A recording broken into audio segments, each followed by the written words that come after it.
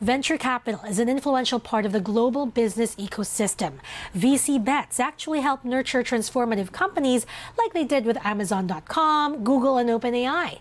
For more on how much venture dollars are actually swirling in the Philippine system and the impact they're having on Philippine growth and innovation, Foxmont Capital's Bea Mantecon joins us live this morning. Hi, Bea. Good morning. Thank you so much for taking our call. Hi, Mimi. Thanks so much for having me today. All right. So, um, Bea, just very quickly, last year, the value of venture capital deals in the U.S., in Silicon Valley, fell to levels, their lowest levels since 2019.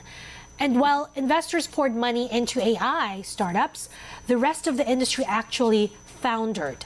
Um, what is, but, but that's not the case for the Philippines, right? Why do you think we headed the other way? What's so special about right. the Manila landscape? So for the Philippines, Mimi, um, we did uh, experience a slight decrease, but like you mentioned, it was very minimal compared to, I think, the rest of Southeast Asia or the world. Um, we did see a dip of about 14% in total deal value raised. Um, however, we also saw our all-time high in terms of the deals uh, that happened. Right, where we were up 96 deals last year versus 83 the previous year. Um, so that was fantastic for us. I think in terms of why uh, one really is because of our younger population that is becoming very digitally savvy. Hmm. Uh, we spoke about this in last year's report, but again, we are seeing that there is what we call a demographic dividend that is happening in the Philippines, uh, where there's a larger working age population. Um, that's growing. Uh, we expect to actually exceed the global average in 2030. Um, so that's a very, very exciting time for the Philippines. Another reason I think in the Philippines, we still have very modest entry valuations versus compared to um, you know the U.S. or even just neighboring countries in general. Uh, so those are two things I think that really has made the Philippines kind of a have a highlight year in 2023 versus uh, the rest of the world. Mm-hmm. Highlight year in 2023. You know, I was looking at uh, some of the numbers. You did say that while the deal value um, dipped, we did see more deals actually happen. So this only goes to show us that the size of the fundings have become smaller. There's probably yes. more interest in early stage. How do you explain this phenomenon? Is this something that you only saw here in Manila, or is it something that was observed all across the board? I think it's been observed across the board, um, even when we are looking at mergers and acquisitions. It's the same kind of um, pattern that we are seeing, uh, and mainly it's just because because of macroeconomic conditions, we aren't seeing as large of deal tickets as we are in the previous years.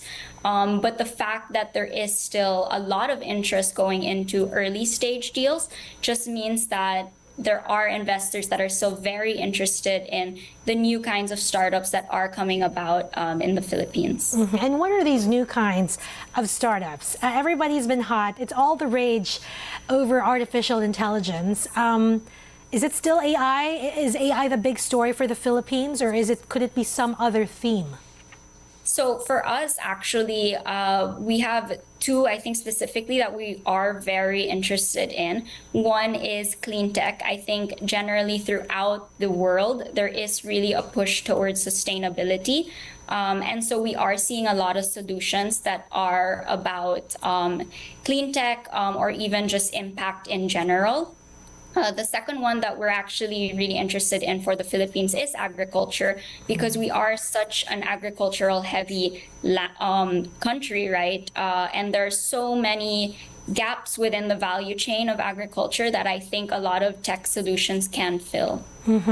Um, I'm actually looking at your portfolio. Uh, very interesting companies uh, under your belt. You've got Armada Pickup Coffee Edamama, Cravers Canteen, Kumu is there.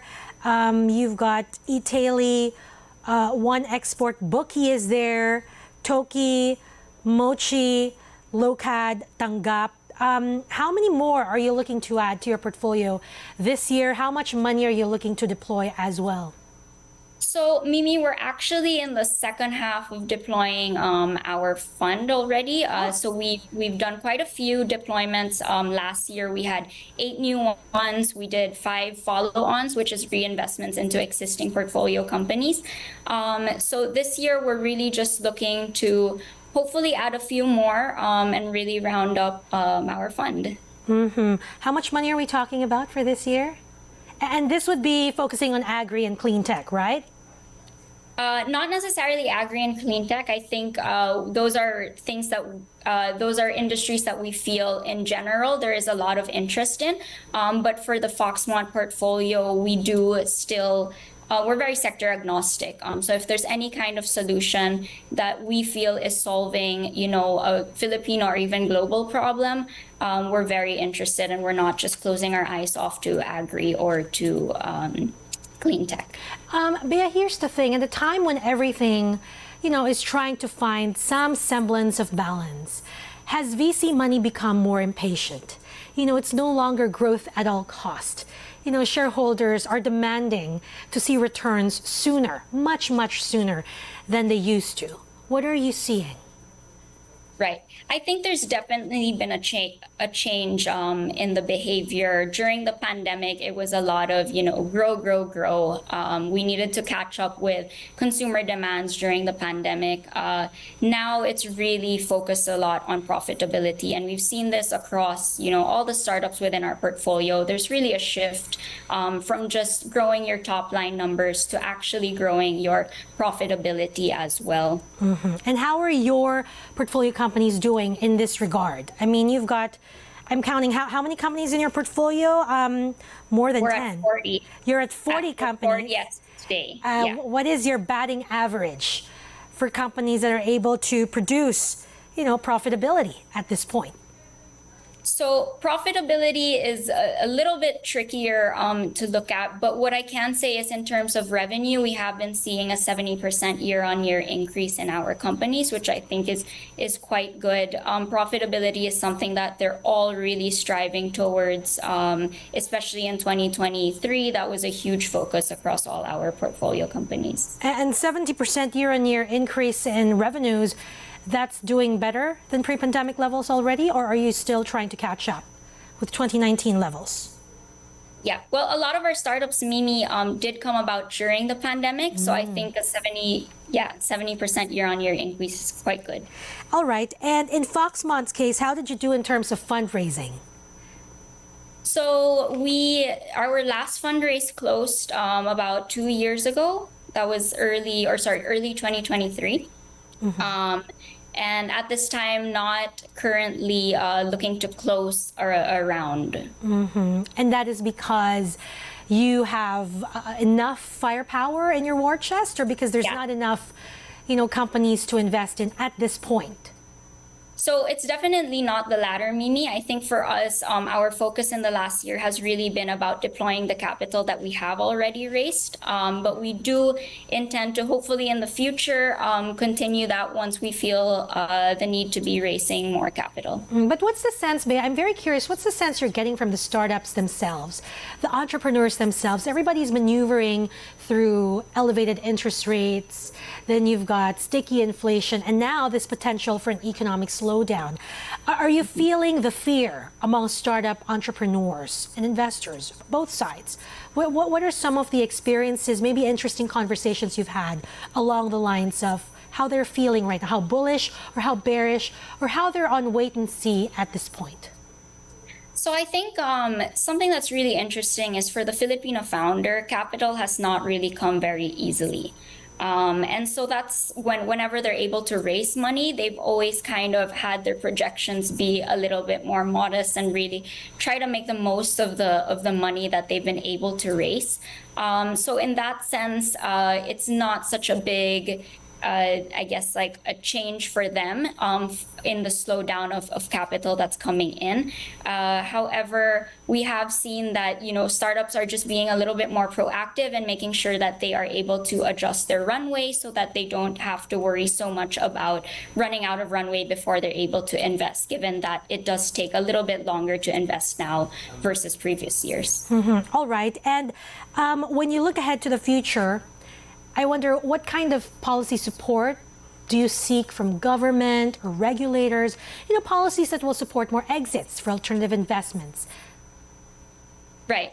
Um, so I think there's actually quite a few that have been going on. I think the PSE has been very active in trying to not just boost, um, you know, participation in the stock market, but even to try to get more companies to list. I think they're very aware that uh, getting startups to get to IPO level is something that they're trying to work on uh, very very much so. They have the SME board that was recently launched I, that has uh, more relaxed restrictions for smaller companies. And so a lot of these policies, I think we will see um, come into fruition in the coming years, hopefully. Mm-hmm.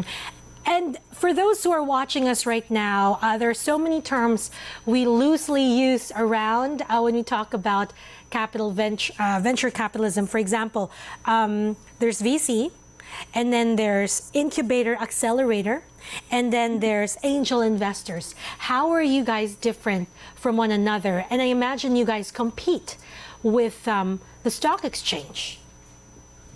So the the main difference is with incubators and accelerators, they're really there to help the the early stage. Um, it sometimes it starts even from just ideation. Um, how do I create the product? How do I launch the product? It's a lot hands more support on creating the product and then helping them scale a little bit. Venture capital is similar, but we do um, infuse capital right into the businesses. Mm-hmm. Um, sorry, what was the third one, Mimi? That and you then, had mentioned? Um, incubator angel, uh, angel investors. Yes. Right. So for angel investors, they're typically more early stage. A lot of startups before they actually raise from a formal venture capital, they do go to angel investors, which are maybe like high net worth individuals or those just really interested in helping bolstering the uh, startup ecosystem and putting in smaller smaller tickets into these companies. And, you guys compete with uh, stock markets, the stock exchange, where it's public public money versus private equity. Um, so they that is a potential exit for us. So actually, we do encourage a lot of um, hopefully eventually to get into the you know IPO and into the public markets. All right, exciting times ahead. Final question, Bea. When do you expect? You know, you did say we did start this conversation by saying, well, the deal value did slip. Um, recently, the number of deals went up, but when are you expecting the deal value itself to also recover and start growing by double digits again? I think Mimi, for us, as with everyone else, we truly are waiting just to see on how you know the interest rates interest rates go for this year. Um, but we are currently tracking at about a quarter of a billion uh, in deal value so far this year. Um, so we do remain optimistic uh, and let's just see. Let's hope for the best. All right, we're going to wait for your next report. Uh, hopefully, both deal value and number of deals are already up. Thank you, Bea. Pleasure speak with you, and thank you so much for sharing with us insights this morning. Thanks so much, Mimi. Have a good day. Have a good day and week. Yes. All right.